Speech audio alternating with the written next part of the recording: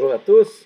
Je vais revenir sur le numéro 4 de votre examen, le numéro qui a été euh, le plus manqué. Donc, on va le regarder ensemble. Juste avant, je vais aller dans les exercices 2 sur les systèmes d'équations linéaires pour vous montrer qu'il y avait deux numéros assez semblables, le numéro 6 et le numéro 7. En fait, c'était exactement la même question, mais avec des systèmes d'équations linéaires différents. donc, euh, négligez pas le fait de faire vos exercices. Euh, ça peut vous préparer, en fait, c'est ce qui vous prépare le mieux possible pour vos examens. Donc, la question 6 et 7 de vos euh, exercices là, étaient exactement la même question. Je ne me souviens pas, à part dans un cas, avoir eu des questions là-dessus. Donc, ça veut dire que moi, je prétends à ce moment-là que ça a bien été pour ces questions-là. Puis que je peux mettre des questions semblables à l'examen pour vous évaluer. Euh, donc voilà. Je vais quand même le faire.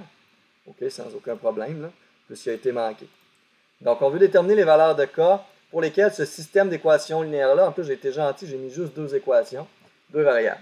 Possède une infinité de solutions, aucune solution, bon, une solution linéaire. On va faire ce qu'on aurait fait pour un système d'équations linéaires avec aucun inconnu, on va résoudre ça par la méthode de Gauss. on va mettre les coefficients devant x. Ici, j'ai k, ici, j'ai 4, ici, j'ai 1, ici, j'ai k, et j'augmente ça par mes constantes 1 et 2. Maintenant, je vais aller chercher le PPCM entre k et 4. Si je connaissais la valeur de k, ce serait facile, mais pour ne pas me tromper ici, je vais multiplier ma ligne 2 par k. Et je vais soustraire à ça 4 fois la ligne 1 ça va avoir pour effet d'avoir un 4 fois K moins 4 fois K. Ça va donner 0 à la position qui m'intéresse.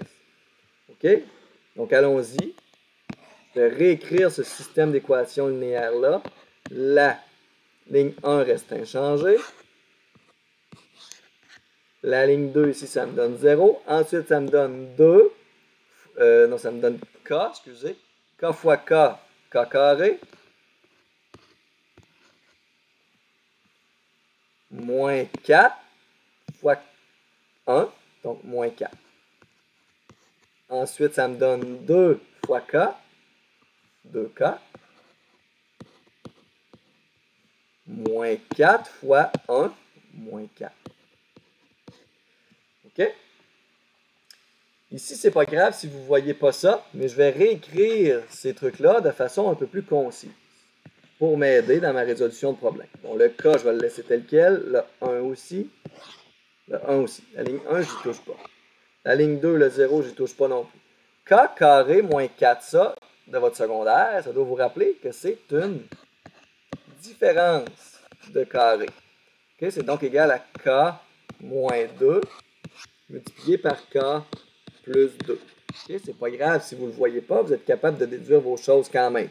Et moi, je vais l'écrire ici parce que je trouve que ça m'aide beaucoup. Donc, K moins 2 fois K plus 2. Comme ça. OK, puis 2K moins 4. Ça, ben, je peux mettre un 2 en évidence. Il va me rester K moins 2. OK, ça va m'aider encore une fois. 2 K moins 2. Puis là, mon but, pour avoir Hein, on va regarder, euh, par exemple, une infinité de solutions. On va mettre ça en rouge. Le numéro A, pour avoir une infinité de solutions, je vous rappelle que ça prenait une dernière ligne avec que des zéros. Hein, pour avoir 0x plus 0y plus euh, égal 0. 0 fois 0 plus 0 va toujours être égal à 0, donc on va avoir une infinité de solutions pour ça. Là, on se questionne. Quand est-ce qu'on a k moins 2 multiplié par k plus 2 qui égale 0? et qu'on a 2k moins 2 qui égale 0 en même temps, ben lorsque k est égal à 2. Si k est égal à 2, je vais avoir 0 ici, ça ne bougera pas. Ici, je vais avoir 0 fois 4, ça va me donner 0. Ici, ça va me donner 2 fois 0, ça va me donner 0 aussi. OK? Pour avoir aucune solution, faisons ça en orange. Pour avoir aucune solution, je dois avoir 0, 0 et quelque chose de différent de 0 ici. À ce moment-là, je vais avoir aucune solution si j'ai 0x plus 0y qui égale quelque chose de non nul. Parce que 0 fois x plus 0 fois y, ça va toujours être égal à 0. Donc, si je réussis à trouver une solution, une valeur de k pour laquelle on a quelque chose qui ne fonctionne pas, j'aurai donc aucune solution. ben ici, je vais avoir toujours 0, ça c'est correct. Ici, je vais avoir 0 si k égale à moins 2.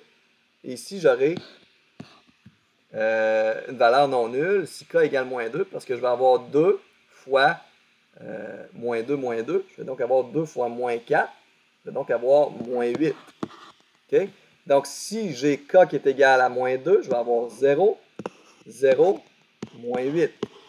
Je vais avoir 0x plus 0y égale moins 8. C'est impossible. Donc, si k égale moins 2, j'ai aucune solution. J'ai une infinité de solutions si k égale 2. Et je vous rappelle qu'on a trois cas possibles. Soit j'ai aucune solution, soit j'ai une infinité de solutions, ou soit j'ai une seule solution. Hein, soit les droites ne se toucheront jamais, soit les droites sont une par-dessus l'autre, ou soit les droites se croisent en un seul point. Donc, tous les autres cas, sans vouloir faire de jeu de mots, pour toutes les autres valeurs de cas, je vais avoir une solution unique. Donc, une solution unique, le C, c'est K est un nombre réel à l'exception des deux valeurs trouvées, c'est-à-dire plus ou moins 2. Si K n'est pas égal à plus 2 ou à moins 2, j'aurai une seule solution. Si K égale 2, j'aurai une infinité de solutions. Et si K égale... Euh, attendez, il y a un moins 2 qui est supposé apparaître quelque part. Le moins 2 est supposé être. Excusez-moi, moins 2. Si k égale moins 2, ben alors là, j'aurai aucune solution. C'est comme ça qu'on fait ce problème-là. Je vous rappelle que si on avait une ligne complètement de 0, ça voulait dire quelque chose. Une ligne de 0, mais pas la colonne des coefficients, des constantes, pas égale à 0, ça voulait dire d'autres choses. Et dans tous les cas, ça voulait dire autre chose. Je vous laisse regarder ça peut-être à tête reposée. Je veux juste parler aussi un petit peu du numéro 7.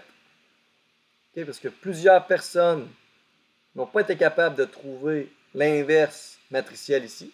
Pourtant, c'est la dernière chose qu'on a faite dans nos notes de cours. Tiens, je pourrais aller voir nos notes de cours vite faites sur le chapitre 2. Je vais aller voir à la toute fin. Regardez-moi ça, le beau numéro qu'on avait ici. Trouver l'inverse de la matrice. Je vous avais même envoyé ce document-là complété. on avait vu qu'on. Qu'est-ce qu'on faisait?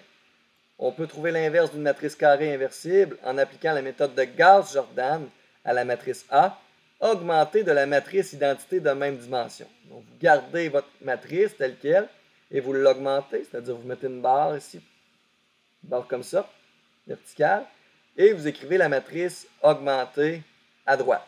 La matrice identité à droite, excusez, de la matrice augmentée. Et ensuite, vous faisiez des opérations sur les lignes pour trouver ultimement la matrice inverse à votre matrice A. Donc, c'est exactement ça. Puis encore une fois, si on va dans la série d'exercices, bien entendu, il y en avait à faire. Il y en avait. Si c'est Gauss Jordan, il y en avait plusieurs à faire. Il y en avait huit. Et calculer l'inverse, il y en avait quatre à faire avec la méthode de Gauss Jordan. Et vous en aviez un à faire dans votre examen. Donc, ce qu'il fallait faire ici, c'était faire 1, 1, 0, 2, 1, 1, 0, moins 1, 2. Augmenter ça de la matrice identité de la même dimension de cette façon-là. Puis je peux faire peut-être la première étape. On voudrait mettre un 0 ici. Ben, je vais faire la ligne 2 moins la ligne 1. OK? Ce qui va me donner 1, 2, 0, 0, 0, 1, 2. Ici, ça va me donner 1, moins 2. Ça me donne moins 1, moins 1, moins 0. Ça me donne moins 1, 1, 0, 0, 0, moins 1, moins 1, 1, moins 0, 1, 0, moins 0, 0, 0, 0, 1. Et on poursuit jusqu'à ce qu'on ait la matrice identité à gauche. OK?